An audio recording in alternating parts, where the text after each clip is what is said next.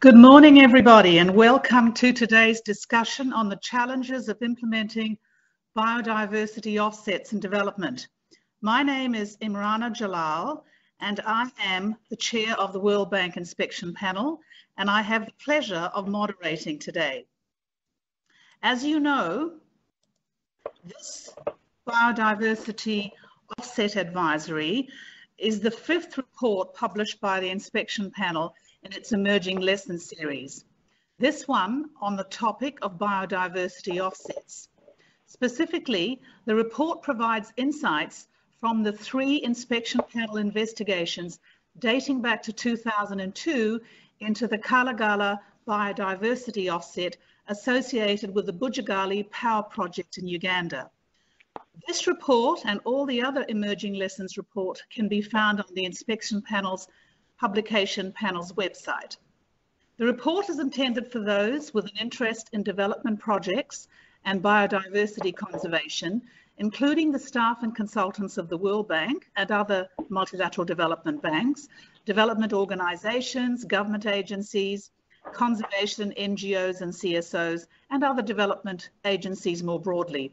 We hope that the observations and insights presented in the advisory report can serve as a learning opportunity for future development projects and their offsets.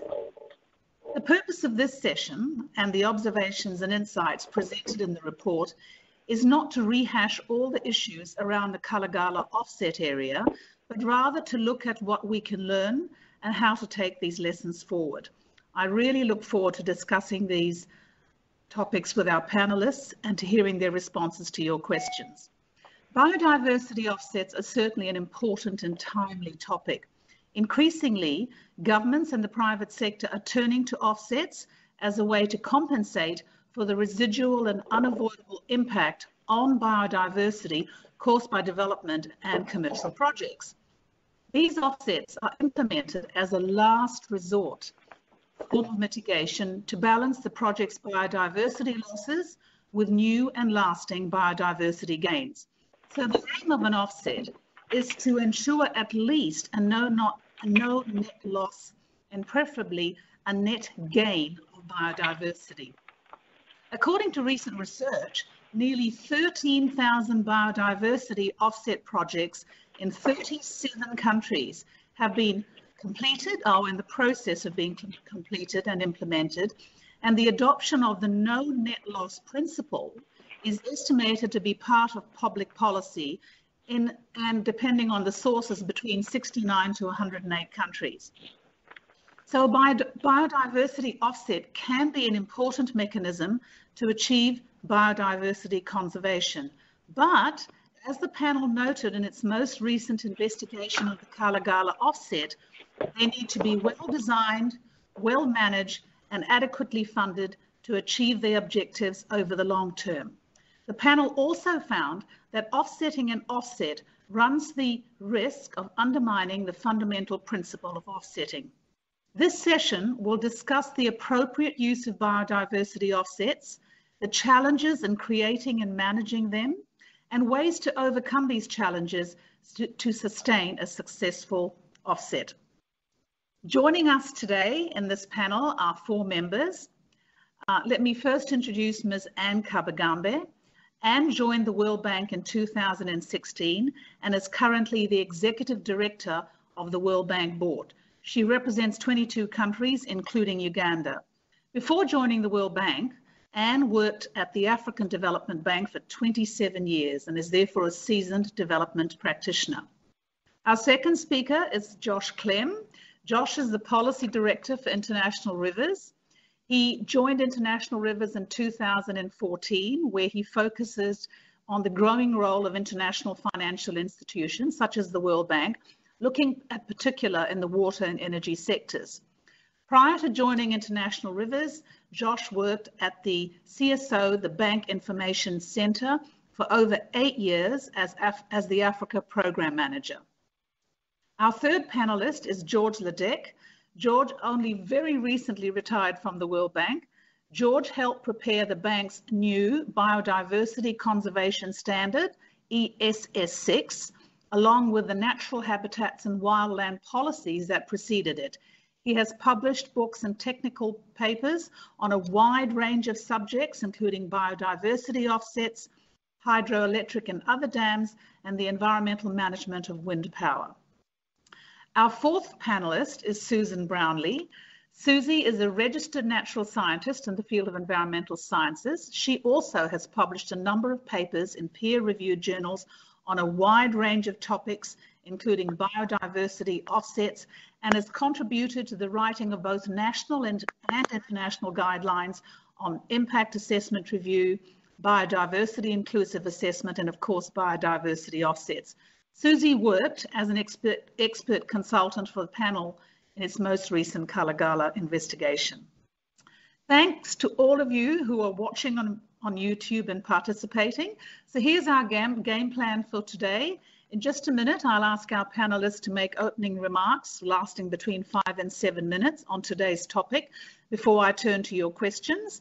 Thank you so much to those of you who sent your question, questions in advance, and we received a large number of them. We were still receiving questions late last night, as well as early this morning. For the sake of efficiency, we've condensed some of them and we'll get to as many of them as we can. Um, uh, and hopefully we can finish them all uh, before we ask the panelists to make their closing remarks. Which brings me to inviting Anne Kabagambe, who will speak first. Anne, would you like to begin? Yes, thank you very much and uh, greetings to the audience, Madam Moderator, and colleagues on the panel. Let me begin by acknowledging how far we have come. Less than a generation ago, it was hearsay to speak about the need to balance the environment with development. We had not heard or even thought through such terms as environmental and social safeguards. But today, I can state that each and every country that I represent at the World Bank Group considers development and the need to preserve the natural environment as both critical and both important. At times, it may seem like an impossible task to pursue our development goals as well as protect our environment as envisaged. And these are economic, social, political challenges. But I would submit that this delicate balancing act that requires balancing the needs and considerations of our national agendas and cultivating deep partnership engagements with stakeholders is possible. The test, of course, that we face is in which strategies will meet these two objectives and make them compatible. How do you marry the demands of a population that needs and is asking for electricity for their hospitals and their schools during such cases like the pandemic that is going on now, while addressing our environmental concerns.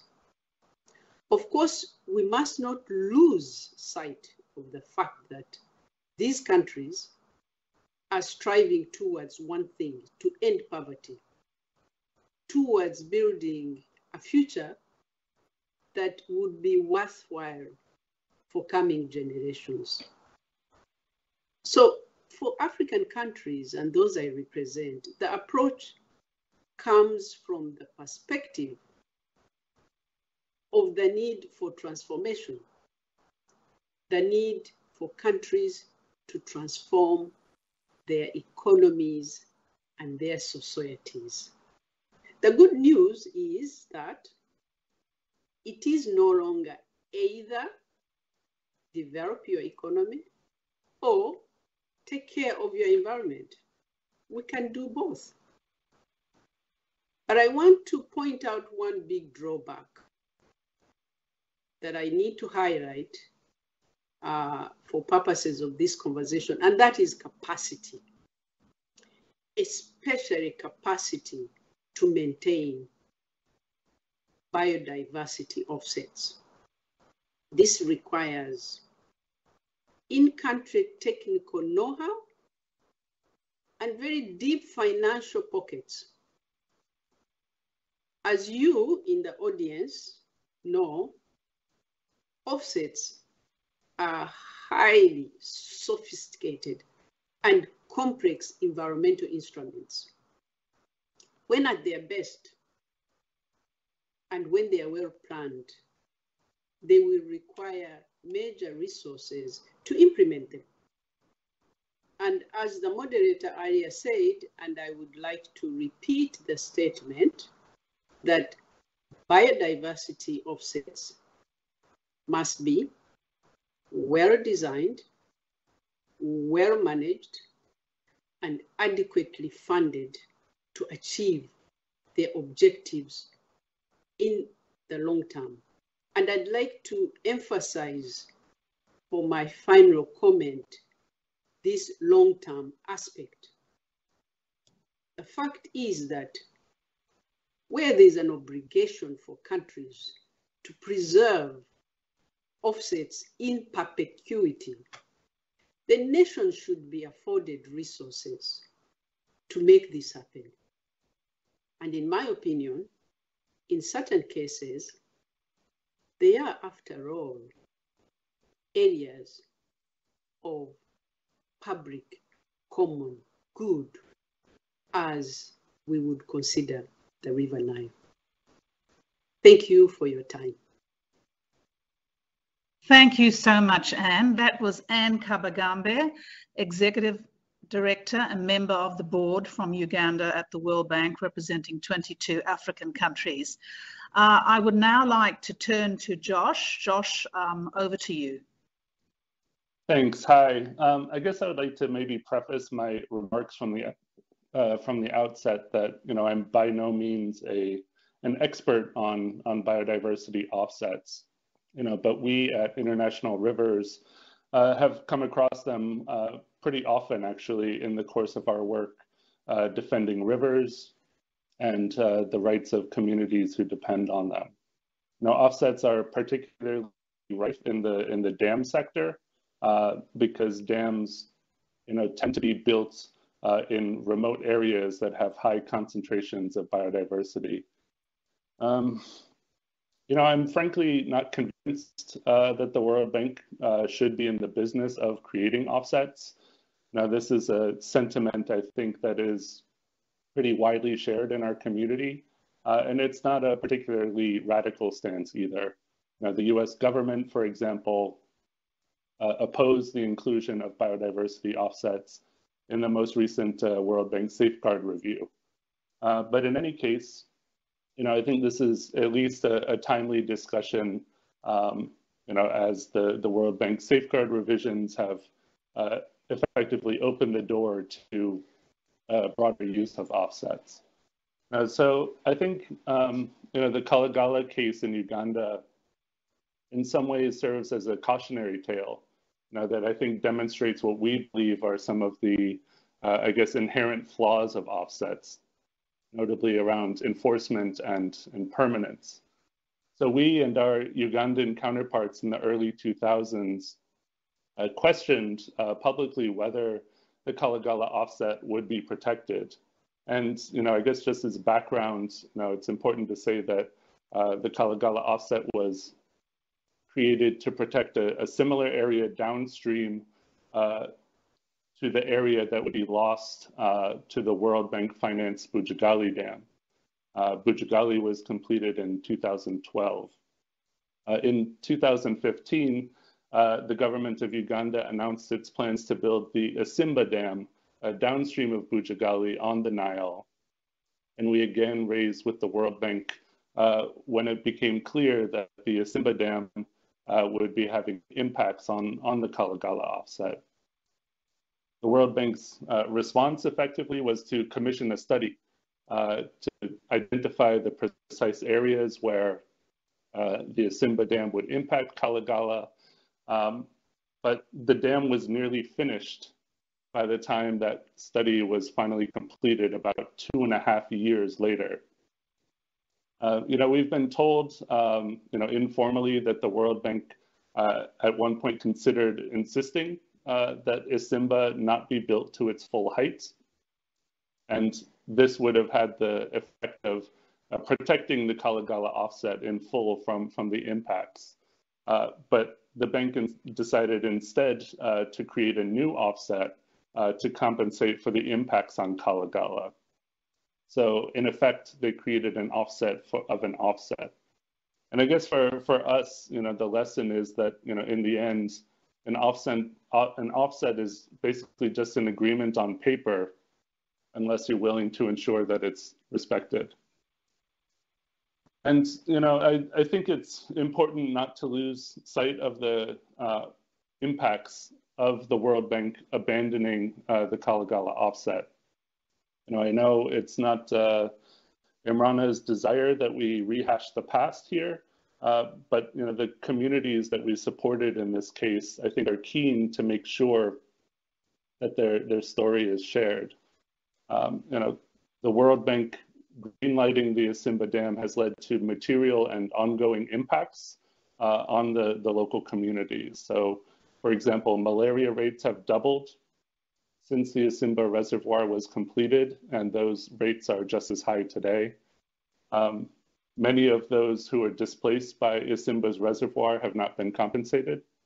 Uh, fish stocks in, in the Nile uh, in this area have, have plummeted. Um, and unemployment has surged uh, as the biggest employer in the district, uh, whitewater tourism, uh, has declined by 35%. So now turning to the question of, of kind of permanence of offsets, I think, you know, one of the drawbacks of offsets is that they rarely offer permanent protection.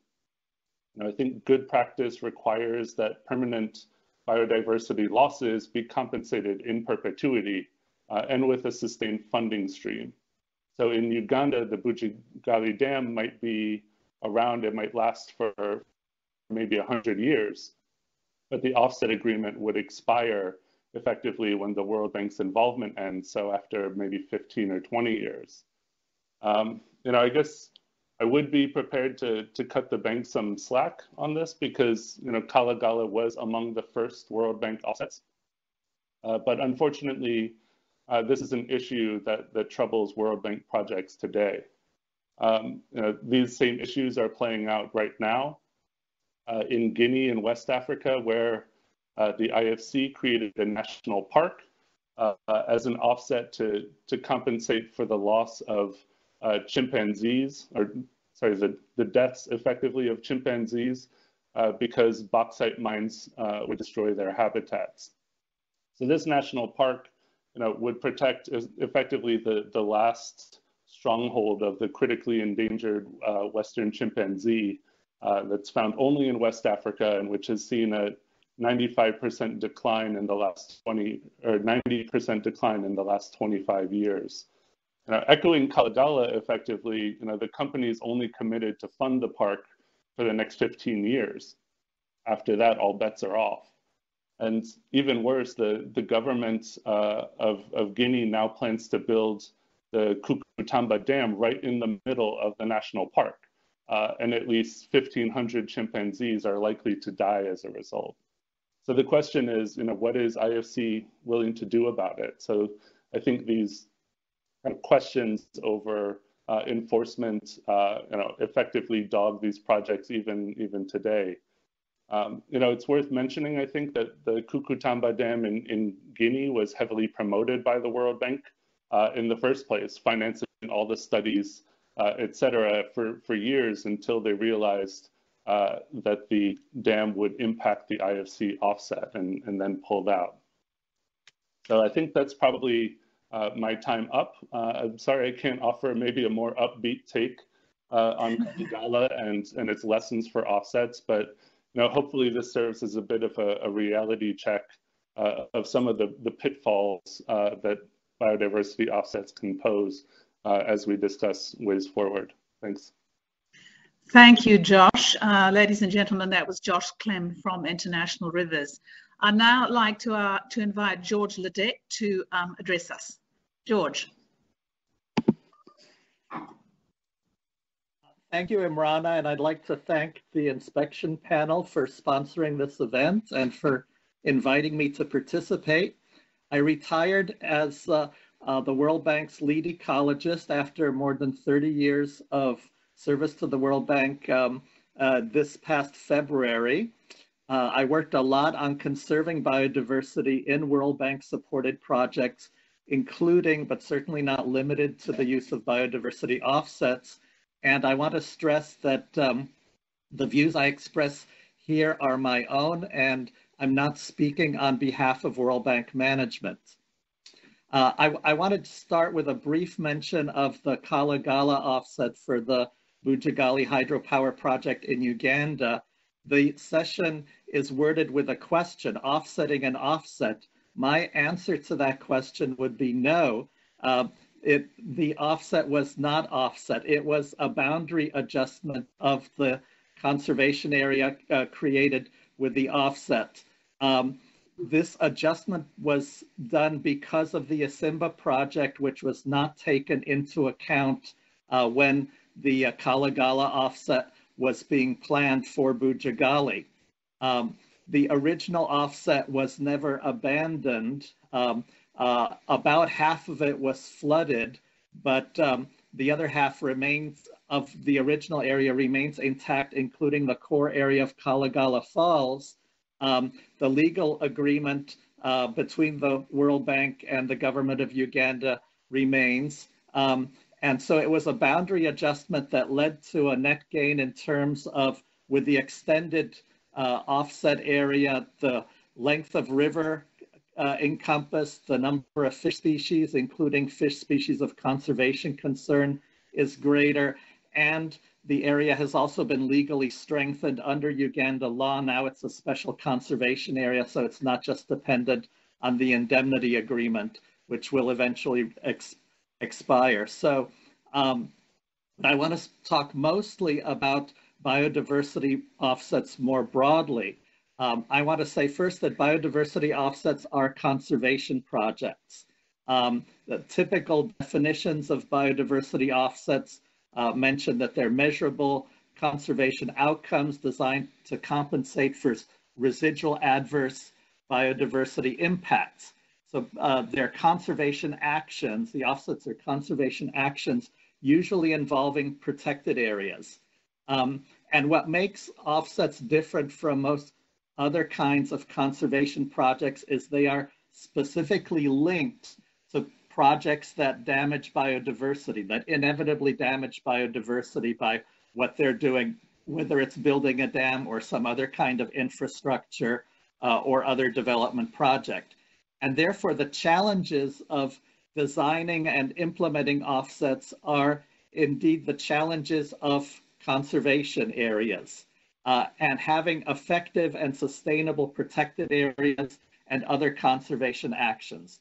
The challenges of offsets are the challenges of conservation. The conservation is very much needed today, uh, uh, in particular because the world faces a biodiversity conservation crisis.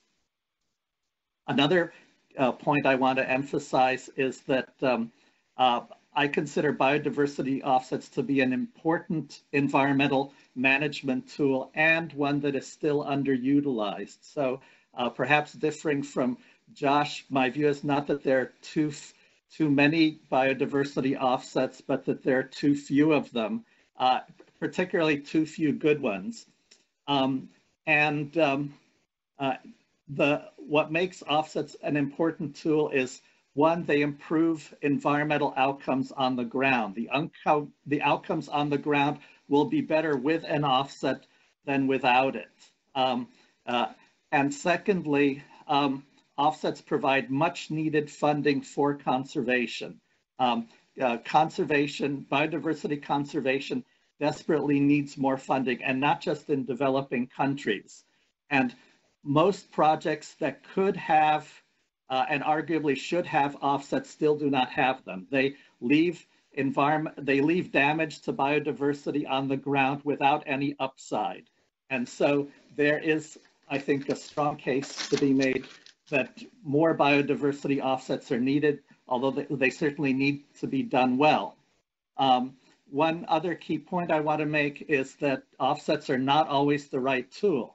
Um, they need to be used in the right circumstances. They should not be used to facilitate habitat loss that otherwise would not happen. On the other hand, they should accompany projects that would still happen, but where the outcomes can be improved by having an offset. Um, and offsets should not be done where they're not feasible. In many cases, the biodiversity damage just cannot be feasibly offset. And in those cases, it's important to redesign the project or shelve it if the biodiversity uh, damage would be too great and irreversible. Offsets are not usually easy to do when they're done well. They require scientific studies, stakeholder engagement, a lot of upfront and recurring costs. It's uh, preparing an offset is like preparing a second project. It adds a lot to the transaction costs and to the hassle factor from the standpoint of the project sponsors. And uh, so appropriately project uh, offsets are the last part of the mitigation hierarchy uh, that, uh, uh, that says that first, first you try to avoid the biodiversity damage through project design and location, then you try to minimize it, then you try to restore uh, damage during construction, and then as a last resort, you do compensation, including offsets. Um, but where it makes sense, uh, offsets can and should be facilitated, I think more so than is the case through a lot of country and uh, legal and regulatory frameworks. And finally, I'd just like to mention that there's a recent World Bank Group publication, the Biodiversity Offsets User Guide, which provides a, a lot of uh, user-friendly information on how to do offsets step by step, when to do them, when not to do them, how to make them more financially sustainable with project case study examples. If you'd like a copy, if you Google Biodiversity Offsets User Guide, you should be able to get an electronic copy that way. If you need a hard copy, you can contact me. Thank you. Thank you, George, and thank you for pointing out to our audience who are watching on YouTube that very important publication. I'd now like to ask uh, Susie Brownlie to take the floor. Susie, over to you. Thank you, Imrana, and many thanks for inviting me to be part of this very interesting discussion. Clearly, there are quite a range of different views about offsets, and uh, I'm sure they will all come out. I'd like to start by saying that there's a perception that with a biodiversity offset, you can develop anything, anywhere. And that is a perception that is quite widespread. Um, offsets, importantly, have impacts that affect not only biodiversity, but also the people who depend on that biodiversity for lives and livelihoods and well-being.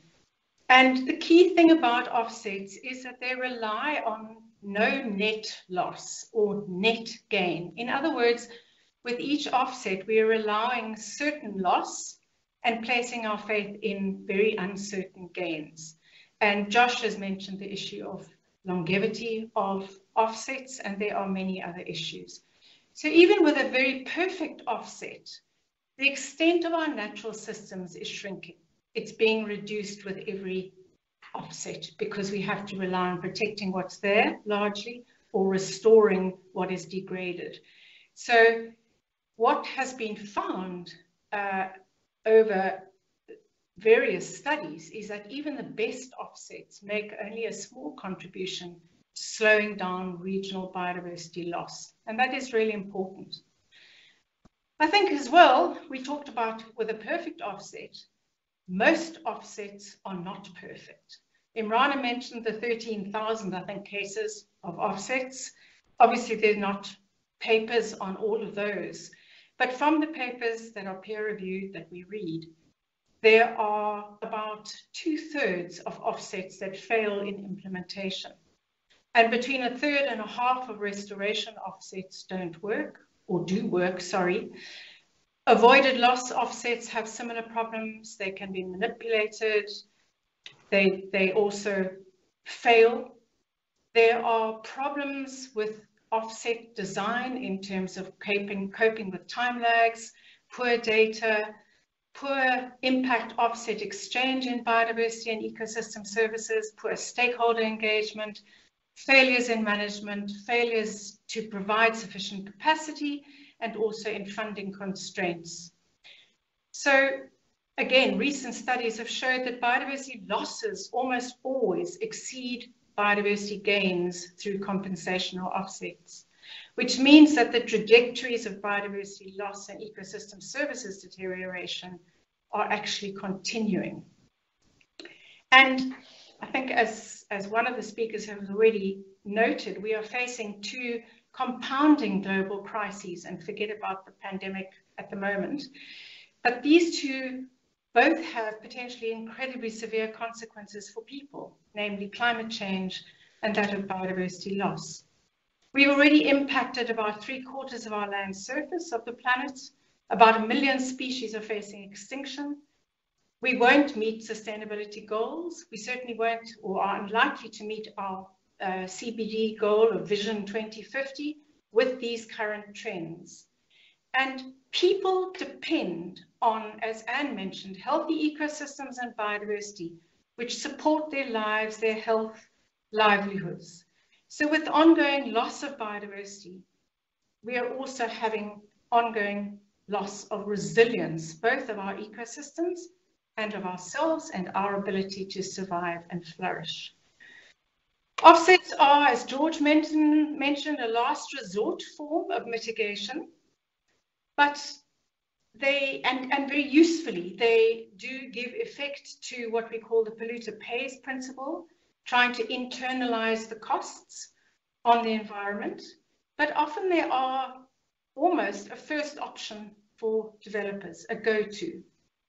So given the plight of nature with these complications of climate change, we should be doing absolutely all we can to avoid significant negative impacts and the use of offsets in the first place.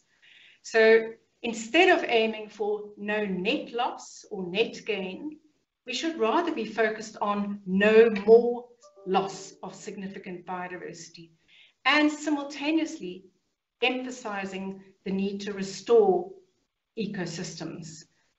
EFOS, uh, offsets should thus be used with the utmost caution, given their track record, and they shouldn't be tried, shouldn't be relied on to make unacceptable projects seem acceptable.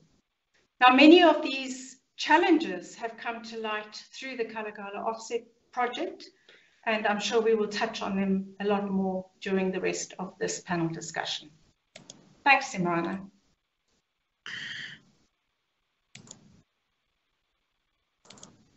Thank you, Susie. We've had lots of really interesting and wide-ranging perspectives. So let's turn to our questions now. So I'm sorry, Susie, um, you're on first. Um, let's start with a general question.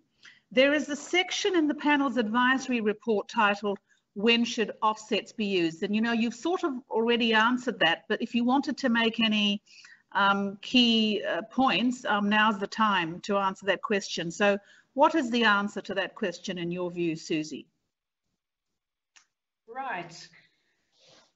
Well, biodiversity offset should only be used where it can be demonstrated that there are no alternatives to achieving the same outcome of the desired project and that every effort to avoid or prevent harm has been exhausted. And that may mean not just looking at alternatives at project level, but moving up to strategic planning level or sector level to see if there are not better ways of meeting objectives with lower biodiversity and ecosystem services impacts.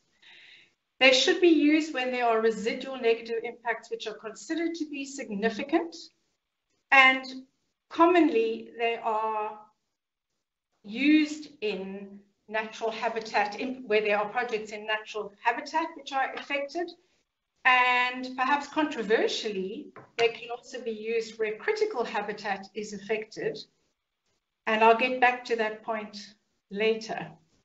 They are best used, as I said, within the context of a wider strategic framework. So in terms of, for example, spatial land use or biodiversity plans, which have prioritized different areas for development and where limits of acceptable change to biodiversity and natural systems have already been set. They should preferably then only be used in relatively low risk situations. So for example, where there are reliable data on biodiversity, when the affected biodiversity doesn't constitute critical habitat, so in other words, it's highly uh, not highly threatened or unique areas, ecosystems or species, where an ecosystem is fairly widespread and there are lots of options in the landscape for conservation, where there are clear opportunities to add value and where there's evidence that it is feasible to restore degraded areas, in other words, to build up these biodiversity gains that are needed in a relatively short time frame. And I think that's also important. You can't say we'll do something, but it'll take 100 years to achieve it, because then the uncertainty level becomes unacceptable. Where there's relatively low dependence, thinking now on people's dependence on ecosystem services, offsets are best where there is a low dependence on ecosystem services and affected ecosystems, and where those ecosystems services can be readily and easily substituted. Where there are readily available offset sites and no land tenure issues or complications, and where you know there's stakeholder support for an offset, that would be a suitable situation. And as I think um, George mentioned, where there are legal mechanisms available to support offsets and give them some kind of long-term guarantee that they'll survive, where there's strong and transparent governance, which is committed formally to conservation and offsets, and crucially, where there is capacity and where there are resources to implement an offset, and that can be assured. So there are mechanisms, mechanisms in place for oversight and checks. I think it is important to note, and it has already been noted, that the Kalagala offset predated guidance on biodiversity offsets or good guidance, and a lot of that has come subsequently. And that at the time, bank policy called for an ecologically equivalent protected area to be established and maintained. And I think that is, that is the key here, and maintained in mitigation. So a lot of the no net loss and uh, biodiversity currency and accounting, that wasn't active at the time. But having said that, current good practice guidance was in place when we considered or when the Isimba posed a threat of flooding the Kalagala offset. And that requires assessment of risks and threats to biodiversity and ecosystem services, rigorous application of the mitigation hierarchy before using offsets as a last resort to achieve no net loss or net gain, use of a precautionary approach, and for offsets to deliver long-term outcomes. I think there is, it's fair to say that there is a presumption in good practice guidance against offsetting and offset, and I'll leave it at that. Thank you, Susie. Um, could I ask you all to please limit your answers to under three minutes. Thank you very much. Thank you for that, Susie. Georgia, there's a question um, from uh, uh, uh, from the from the audience for you. Um, the panel advisory reports six insights into the use of offsets and development. So how can the World Bank, given what's happened, ensure that the many insights and lessons that have come out of the Kalagala case will, will improve its approach and practice in the future? Um, yes, I, um, uh, I happen to agree with all six of the insights as they're stated in, in the report, so I would encourage people to read them. I won't repeat them here in order to stick to my time limit.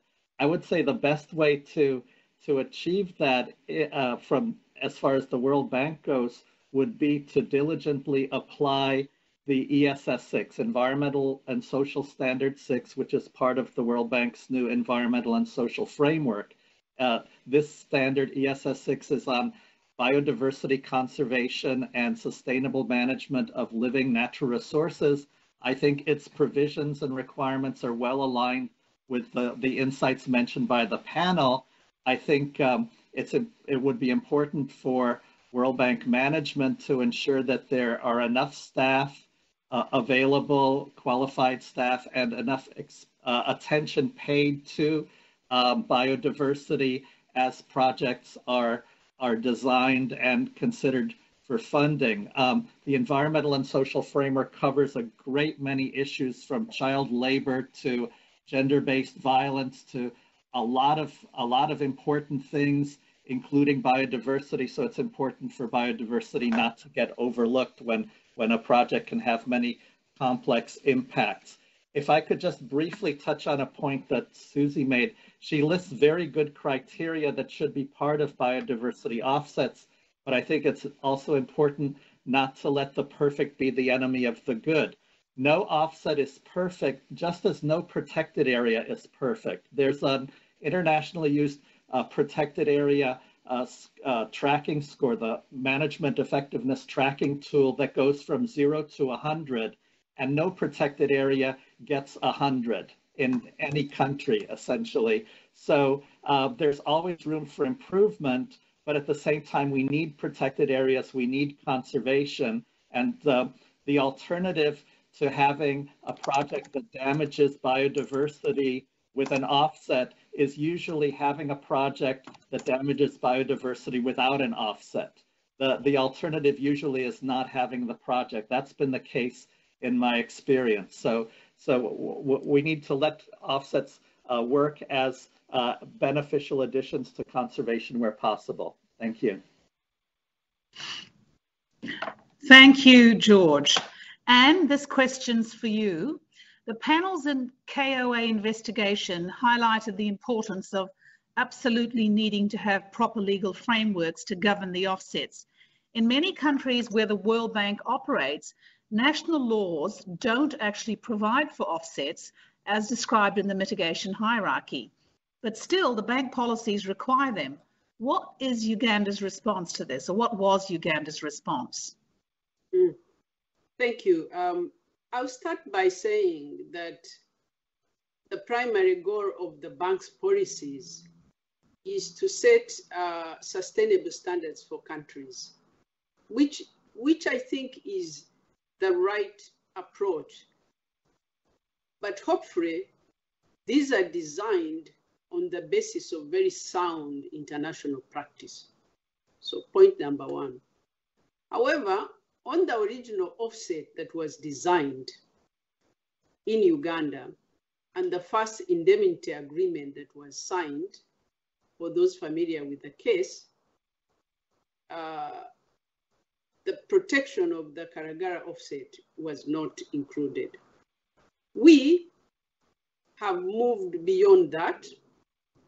And our experience has been that, of course, if you have inadequate legal and regulatory framework, this will affect how to preserve the long-term offset um, area.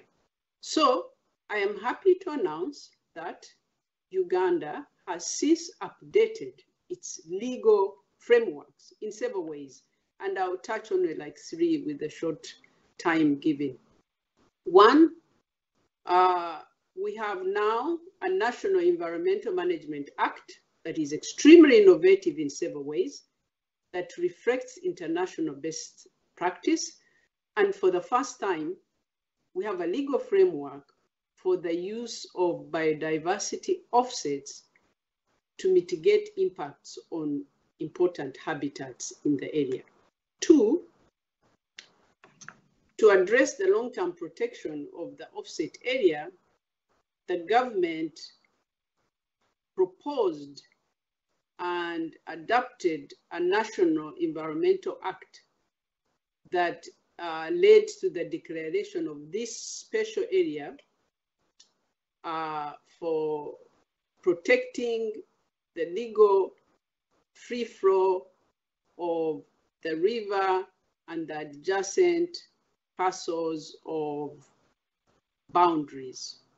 The third one uh, that I would like to address is the fact that uh, Uganda declared a special conservation area for the protection of the Kalagala Special Conservation.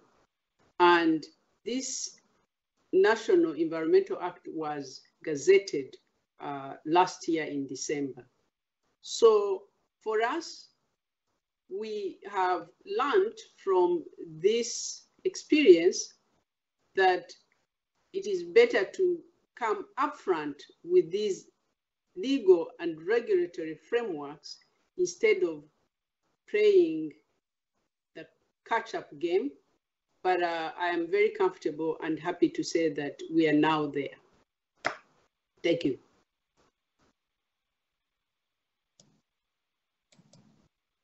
Thank you, Anne, and congratulations to the government of Uganda on passing this very important legislation. Um, I think that um, this is a major milestone and that other governments um, who are looking at offsets, uh, hopefully they will take their cue from Uganda's example in this most recent case. Uh, Josh, the next question is for you. Um, the panel investigation highlighted the impact of those living in the surrounding areas of the offset, those who depend on the river and its surroundings for their livelihoods, uh, etc. The creation or the creation or increased management of protected areas for the purposes of biodiversity offsets can have an adverse social impact and as well as an economic impact, including economic and physical displacement. What lessons can we learn from this, Josh?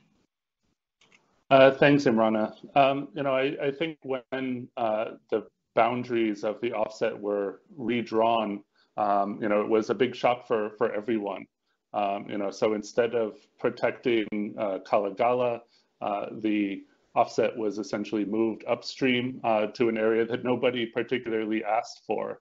Um, you know, and this had the unfortunate uh, kind of result that authorities uh, showed up driving stakes into the ground you know, telling people uh, that they would have to leave uh, and, and restricting access to the river.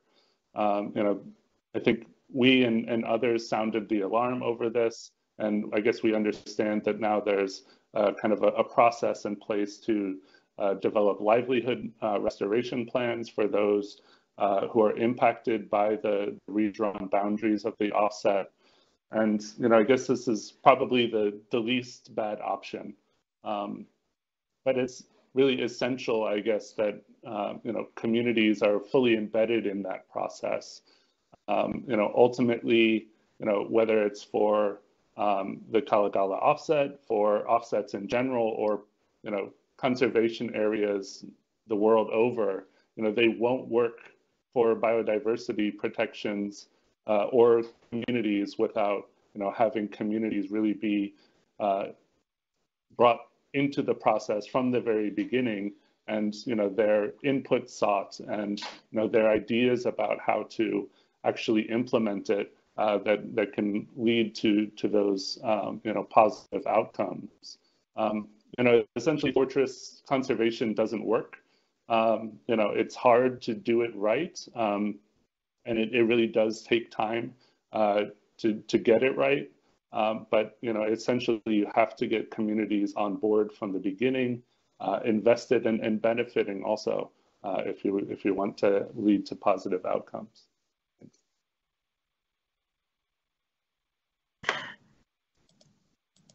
Thank you, Josh. Um, uh, Susie, this question is for you.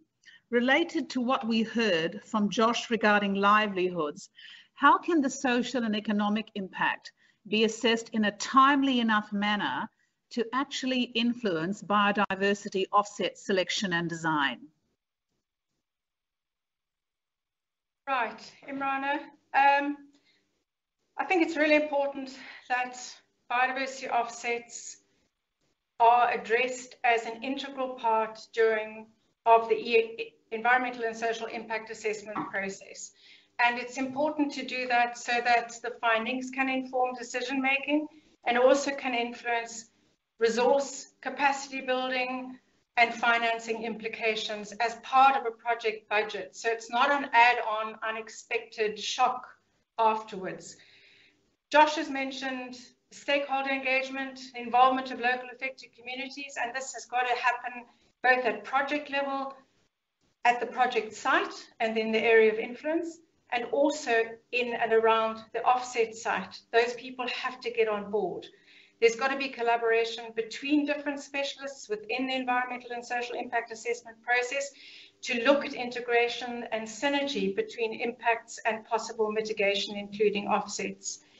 And I think, again, the, the, identification of risks and consideration of alternatives has to be done at the very, very earliest possible stage of the environmental impact assessment process, process to try and avoid significant negative impacts on both biodiversity and on ecosystem services.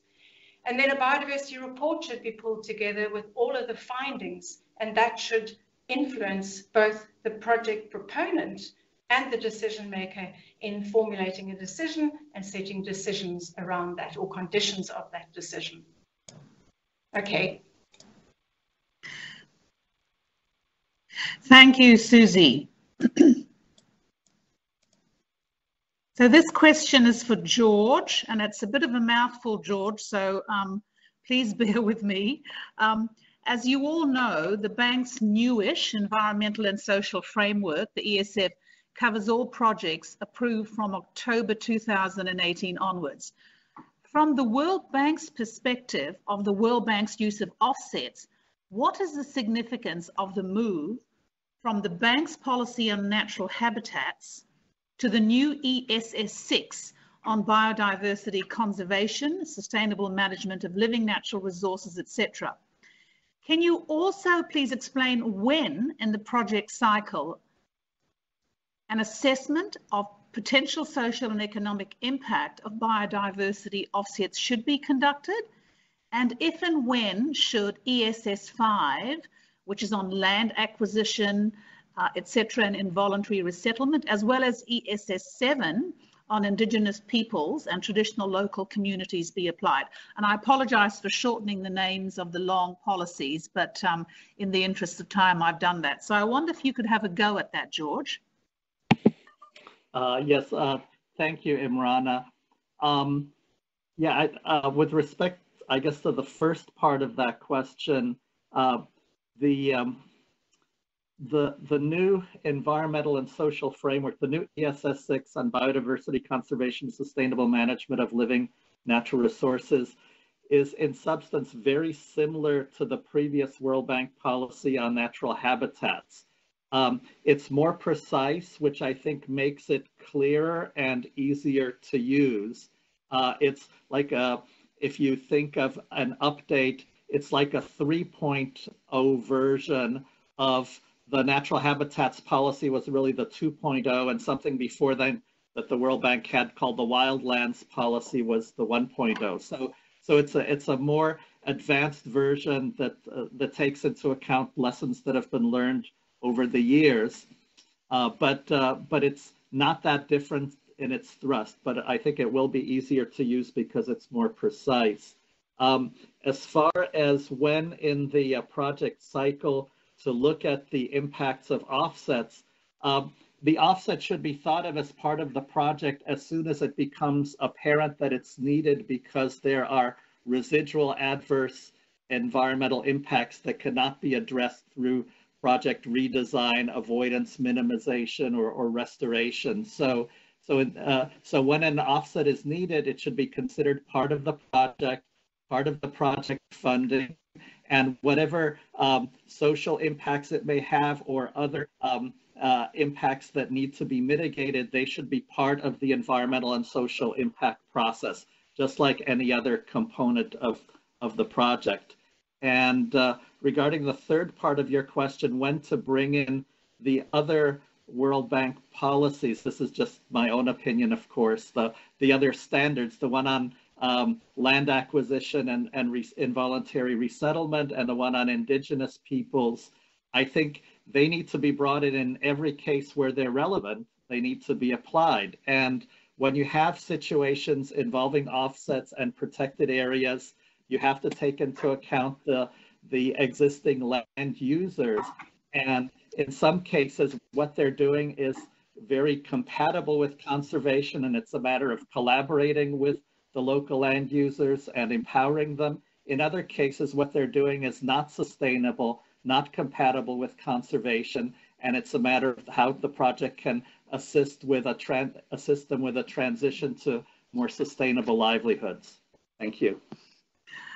Thank you, George. That was a, a great attempt at answering three complex questions altogether and highly appreciated. Um, I'm now turning to Anne.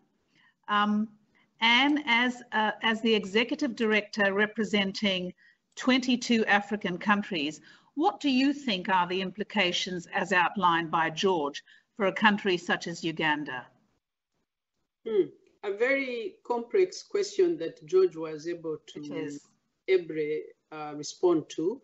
But let me first agree on five points that George pointed out earlier.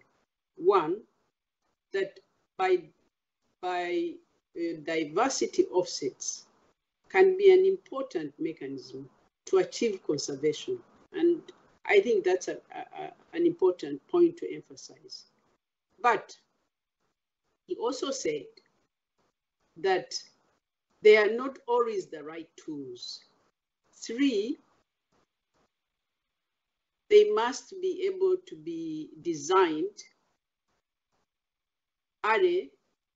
when the project is being uh, prepared. Four, that preparing offsets can, in most times, be like preparing a new project. And that has been our experience in Uganda. And I must say that the costs were exorbitant. So having agreed with George on, uh, on, on what he's uh, pointed out at the beginning, I also believe that the bank's goal should be to work really closely with the countries at the beginning to ensure that the overall net benefit for the people and for the environment is upfront and not to wait until the project is fully developed uh, and the need to engage uh, and support the countries and the communities should be right at the initial phase so that all issues are covered. In certain cases, uh, the bank, I must say, will have to consider a need to move with certain policies, but they must be able to engage with the client countries in a holistic manner and be able to recognize that the best designs in projects sometimes have negative impact. This is part of the development process. So engaging in a dialogue right at the beginning and providing the technical support that is necessary is going to be critical. And uh, working with the governments and with the partners would probably address these foreseen problems at the beginning. And that is why um, I would uh, want to say that some of the uh, problems we are, we are looking at is because uh, we did not begin addressing them right at the time that we were developing some of these projects. Uh, having said that, I don't think that it is unusual, however, for the bank to uh, require certain national laws that do not exist. And in some cases, like in the case of Uganda, the requirements on the bank's uh, resettlement policy uh, did not necessarily meet the national framework uh, uh of, uh, of the country.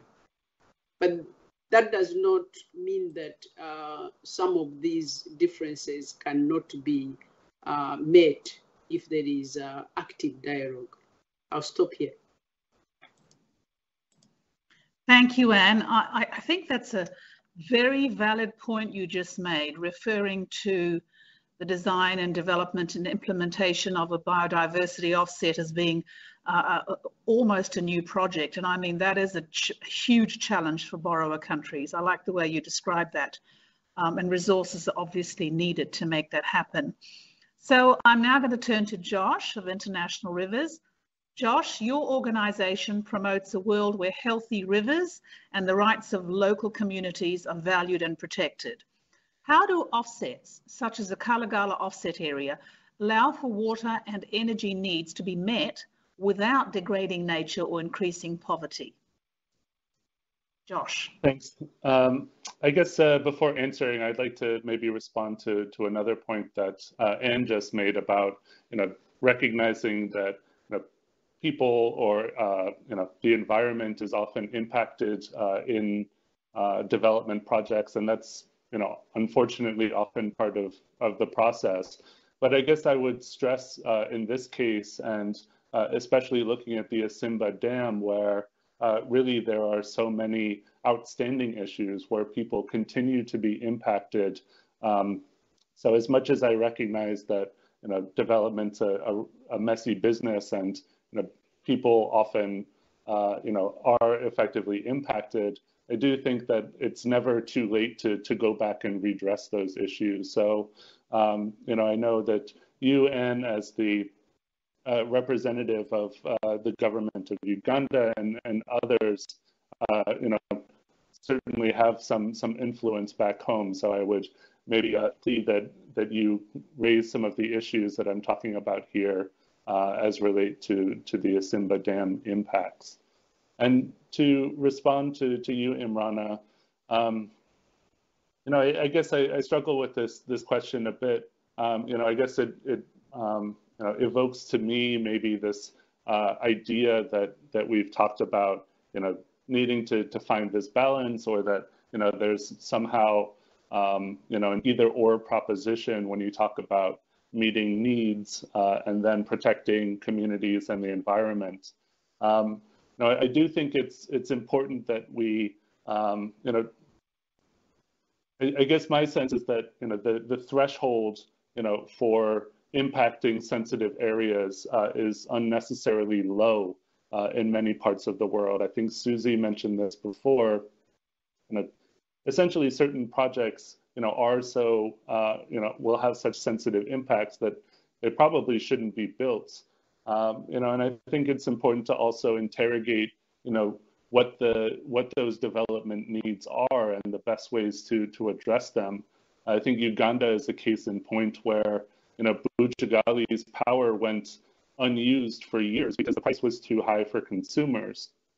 Now with uh, Isimba online, you know, have an energy oversupply, uh, plus other dams coming online uh, you know, on the Nile uh, that are um, you know, soon to be uh, completed. So you're going to end up with, uh, you know, oversupply, you know, way beyond the actual energy needs of the country. So you know, looking at, at Uganda, where the energy challenges are effectively you know, distribution uh, and increasing uh, and, and meeting the access needs of particularly those in, in rural areas who are far from the grid, where you know, essentially household solar is probably uh, the best way to deliver uh, energy access for them. So I, I think it's important that we not get caught up in this kind of uh, dichotomy.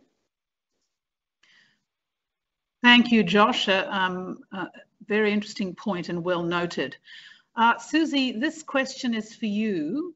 To come back to the design of biodiversity offsets, do you think, and, and this complicated question, do you think it would be possible and useful to use economic tools to incentivize biodiversity offset outcomes to at least help with the critical initial period of, you know, the first five to seven years of offset design and implementation?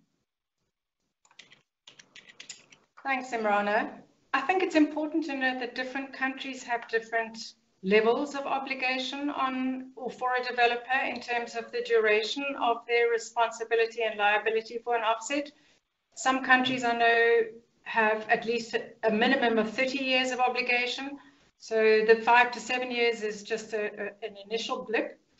But before I, before I respond, I'd, I'd, also like to just add something, if I may, to what Josh was saying and to what Anne was saying. I think, of I think course. what is absolutely critical before a decision and a go-ahead is given, it's vital to have pinned down who is, what management of an offset is required, who is going to do it, what activities are going to happen, how is it going to be funded? And all of those assurances are crucial as part of a bigger project budget to make sure that they can actually be implemented so that we don't get stuck in a situation where the, the project is, is operating already and we are still scrabbling around trying to work out what studies are necessary to make the project acceptable.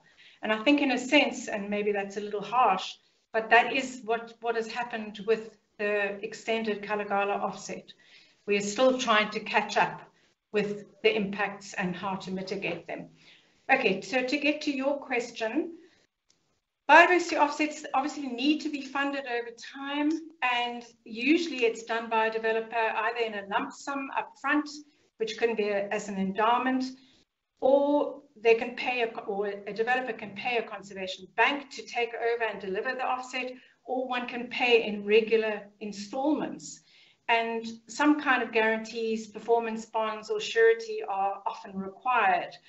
So if we look at the long-term outlook for an offset, what are the things that could make a difference? Obviously at a national level, tax incentives or tax rebates for demonstrated conservation actions and achievements and or ecological restoration could make a difference, but they're likely to take quite a while to, to, to, to um, establish. Things like green bonds and financial institutions offering preferential rates for conservation or restoration would be greatly useful. Loans with performance-based rewards for good performance in good time. For example, you could have a loan with an interest rate that decreases as measurable targets for the offset are reached. Uh, support for the establishment of biodiversity or conservation banks could benefit developers so that they can provide offsets in advance of impacts, which is always a very strong plus. And then again, resource and land uses compatible with objectives of the offset can be used to generate income in the long term. And I think that's where things like biodiversity stewardships, involvement and buy-in of local communities and other stakeholders, conservation NGOs, to try and embed a different kind of behavior and support for management for conservation in perpetuity can really be incredibly valuable. Okay, that's all from me. Thank you, Susie. Um, George, uh, I had a question for you, but you, you've already answered it. Um, in your view, you, you have a different take. The panel found that offsetting an offset runs the risk of undermining the fundamental principle of offsetting. And I know that your, your view is that it's an extension of an existing boundary. So I'd, I'd like to come back to Susie and ask Susie, I know you have a different take on this question. Um, would you be able to share, share with us your different view on this, Susie? Yes, with greatest of pleasure. Um, a fundamental principle of offsets is that they should last, as has been said many times already, as least as long as the residual negative impacts and preferably in the long term. And in fact, in the World Bank guide documents, it says in the very long term. So biodiversity gains in offsetting are achieved through protection and or restoration, and they are not instant.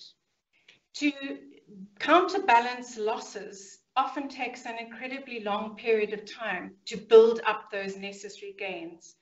So by offsetting an offset, what you're doing is you're basically winding the clock back in this case about a decade, and you annul whatever gains through protection and restoration were made. And that's a situation that we have with the Kalagala offset and its extension. And then I think there are other points too. There are cumulative impacts when an offset is lost and another offset is provided, or as George describes it, as adjusting the boundaries. Essentially, one is having then to compensate not just for the impacts of the initial development, but also for the impacts of losing the flooded Kalagala offset area. So that again is exacerbating the contraction of natural systems spatially. Then I think striving for equivalence, which is a core principle of offset, there must be equivalence in the biodiversity that's impacted and the biodiversity in the offset itself. It's usually a, a, a, huge challenge because we have to use proxies for biodiversity that are lost and gained. And when you're offsetting an offset, you're having to try and find equivalence for the first case, which in this case was the Jinja Reserve and the Bujagali Falls. Now we're trying to have to find an equivalent proxy and, and, and an offset for the loss of the Kalagala offset, part of it, the loss of islands, the loss of free-flowing river, changes to migratory fishes, changes to disease, etc., etc. So it's, it's a cumulative additive impact that is really not, with respect, going to be compensated by protecting an additional length of river. Then I think Josh touched on the fact that there's reasonable social expectation when there is an offset of it being maintained in the long term as a core principle. So offsetting the offset has a huge range of livelihood impacts on top of the biodiversity impacts. And that again is both at the original offset site and at the new offset site where there's displacement of activities, maybe loss of access to natural resources, shifting of people away from the offset site, and that in turn will undermine the offset and its value. Thanks, Imrana.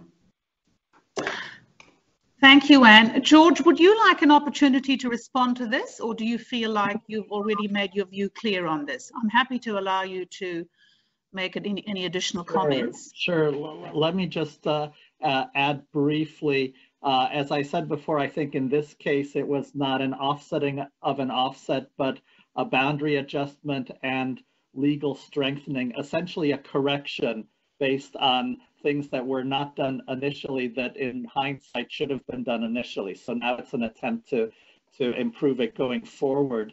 Um, I, um, I very much agree with what Susie said, that conservation should be permanent. Um, there's this saying that diamonds are forever, and I think conservation should be forever also, both legally, what's on paper, and on the ground in terms of uh, protection and management uh, and the resources needed to, to, to sustain that over time.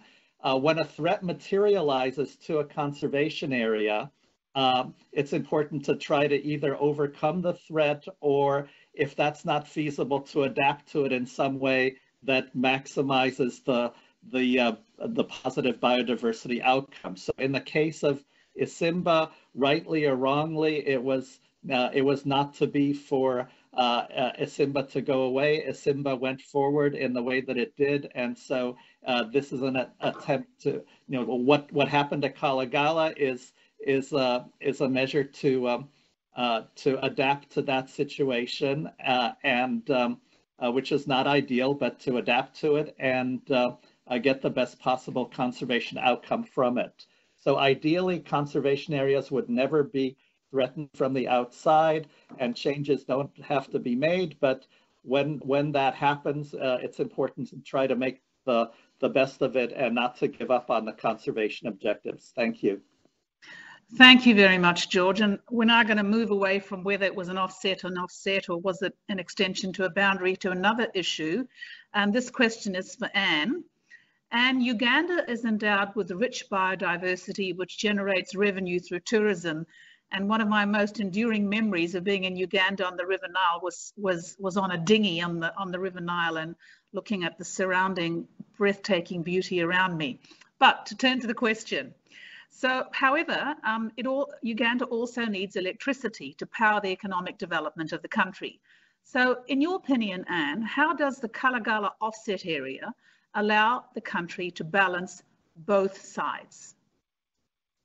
Uh, let me start by responding to Josh uh, on the comment he made about some of the work that remains to be done and uh, to extend an invite to you, Josh, so that we can have a conversation on the comment that you made. I'd be very happy to, to engage. Now, on the question, I'll start with electricity because uh, everybody knows that uh, Uganda has a low rate of electricity, uh, actually lower than most East African countries, and, and it has seriously impeded our country's economic development. And like Susie said earlier on, this, I want to remind you that this is climate friendly hydro power. And so the Jagari Power Project significantly reduced some of these shortages uh, and constituted really an efficient and key component for the country to access uh, electricity. And so for us, that was priority number one. Having said that, I also want to point out something that uh, the Ugandan authorities have often said that the development choice between tourism and power generation is the country's sovereign choice, not the banks, not the partners. What we seek is a dialogue among our partners. So, in our view, it is possible for the country to protect its biodiversity, to grow its tourism sector while generating the necessary electricity to power its transformative agenda. Now, with respect to tourism, the government of Uganda has clearly put it as one of the areas that it, uh, it considers to be uh, a major uh, uh industry and is engaging right now with the stakeholders and has put together a consultation um, process that I would probably want to go through some of the areas that right now we are dealing with because we have uh, a management plan which of course we are discussing with the bank group um, and there are three main areas that uh, that deal with um, with the tourism area. The first one is um, we're trying to see how to handle ownership rights for land. The second one, there's an ongoing consultation on how to balance the interests of uh, the tourist operators. The third one is um, this idea of transitional arrangements for the existing activities, which may not necessarily be consistent with the conservation objective. The fourth one is to prepare for the livelihood restoration plan and resettlement uh, of those that need to be moved. And finally, uh, there is um, an evaluation and survey report to see uh, where the compensation, especially for loss of trees, crops, and other income generating activities. So we are, we're very much uh, in the process of having a conversation with the stakeholders, the tourism stakeholders. Frankly, at this time, I would like to end by saying that uh, for the last three, no, two and a half months, uh, this industry is at standstill. Uh, so we are pleased that at least we are still able to generate electricity from the hydropower project. Thank you.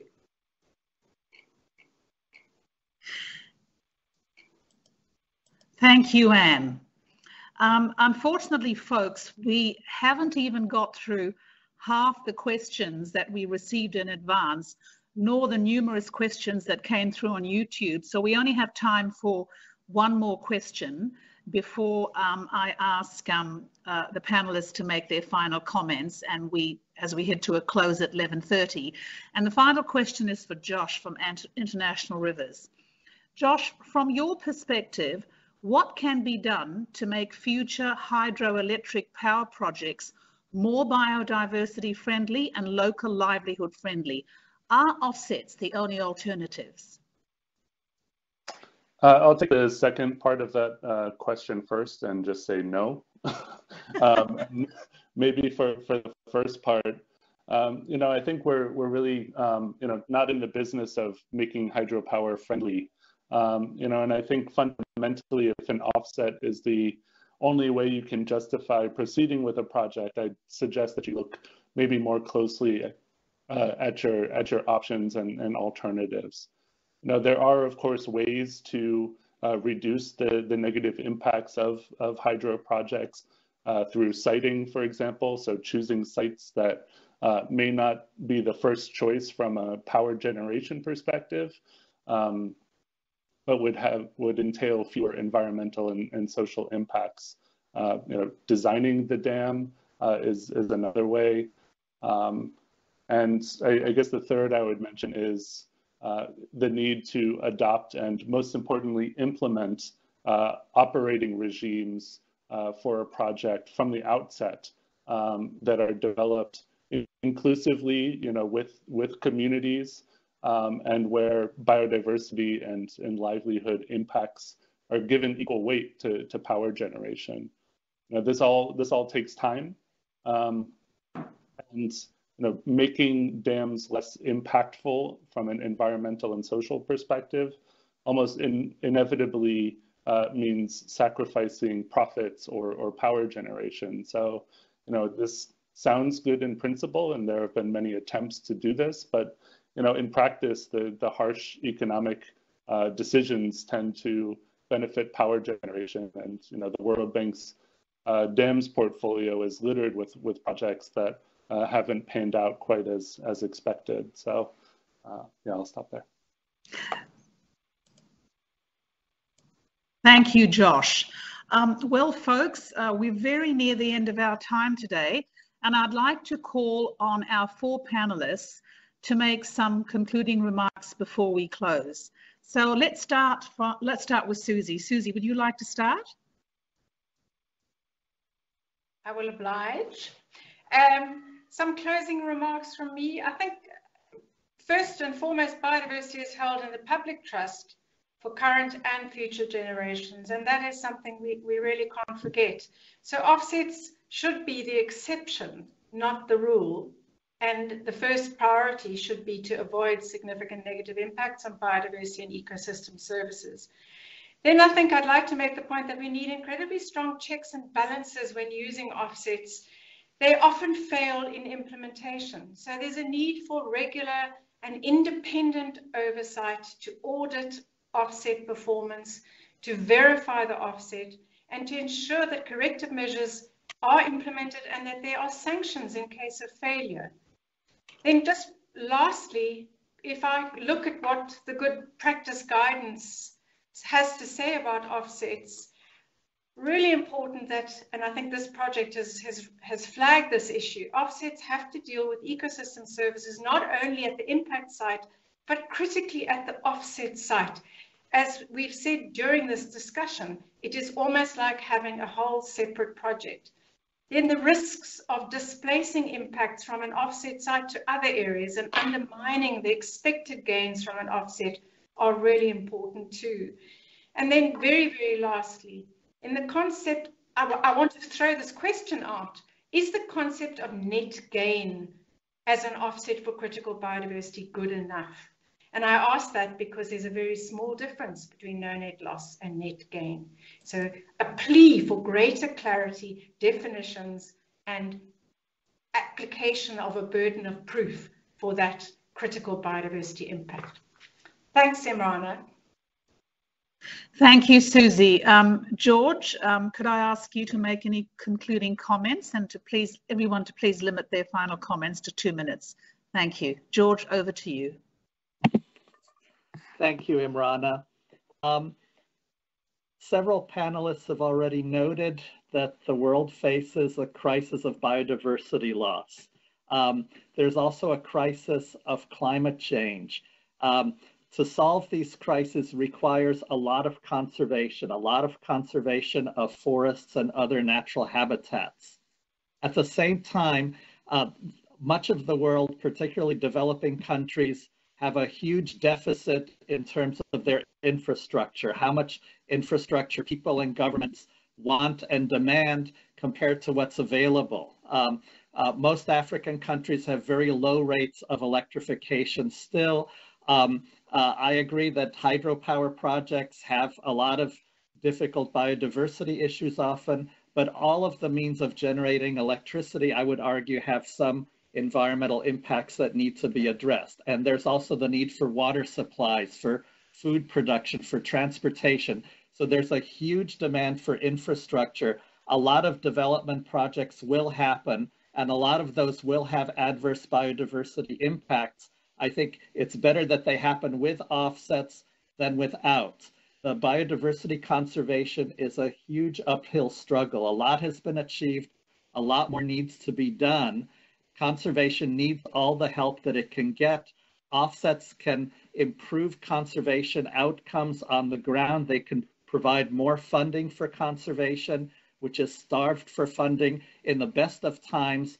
And now with tourism having temporarily, we hope, collapsed because of the coronavirus, it's starved for funds even more because so much of conservation was funded directly or indirectly through tourism. So offsets are an important part of the mix, even if they don't always achieve net gain or no net loss, even if there's a partial net loss, it's still better than having no offset if that's how the outcome turns out. So I would recommend embracing biodiversity offsets as a key tool under specific project conditions. It has to be done in, in the right ways under the right conditions. Commit to doing offsets well taking into account the useful insights and recommendations from the panel report and from this discussion. Thank you to everybody. Thank you, George. I'd like now to hand over to Josh Klemm from International Rivers. Josh, would you like to make some concluding comments? Uh, sure, thanks. Uh, and I would like to accept uh, Anne's kind offer to uh, have a conversation after the fact about what can be done to redress some of the, the harms from Isimba and, and otherwise. Um, I guess in, in conclusion, you know, I, when when I look at it, you know, the norm seems to be, um, you know, you start with a project uh, that you want to build that Im impacts, you know, X environmental value. You, then you look around for an offset. Um, you propose the offset, and then you get on with construction. Um, and to me, I think that's just kind of the, the wrong way about it. You know, you can, I think, avoid the need for an offset in the first place in, in many cases with better planning.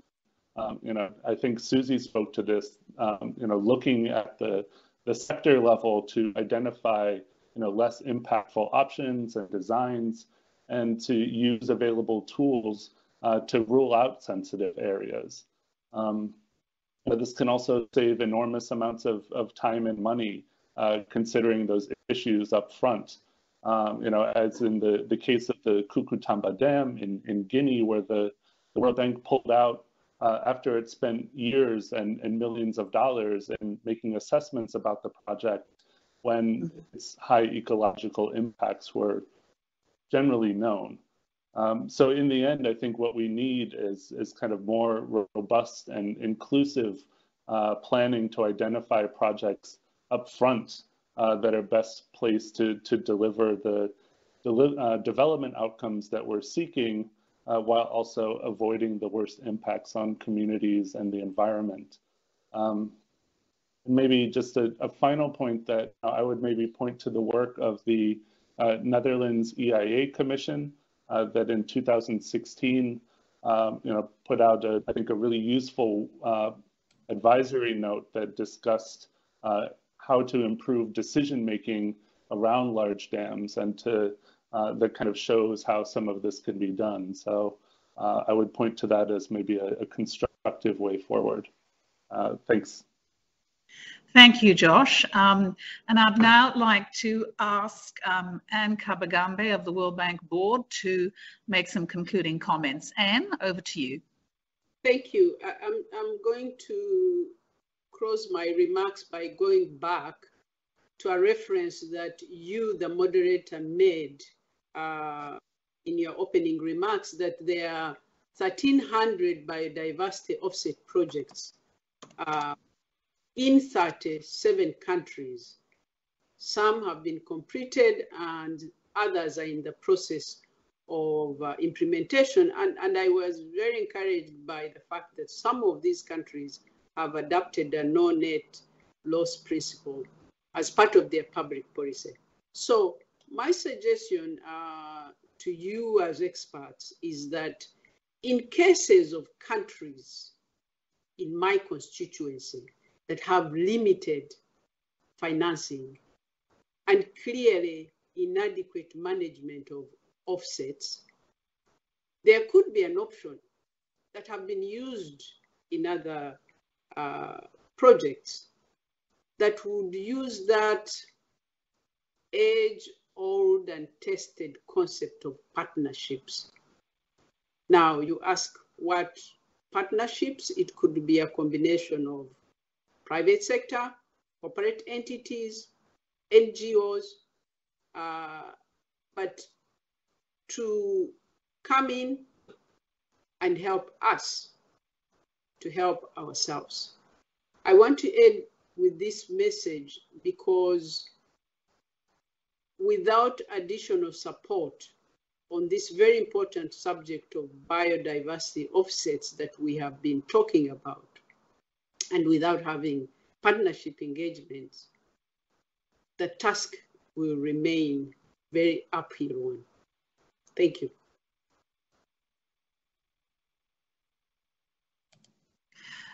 Thank you, Anne. And I'm glad you raised this issue about partnerships to manage biodiversity offsets because it's an important point, isn't it? Because it doesn't mean that our borrower countries have to go it alone.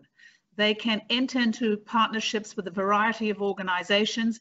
For example, I asked our expert for some examples of these partnerships and I was told that in Peru, a mining company has worked with local communities, a local NGO and parks authorities to deliver an offset, the Antamina mine in Peru.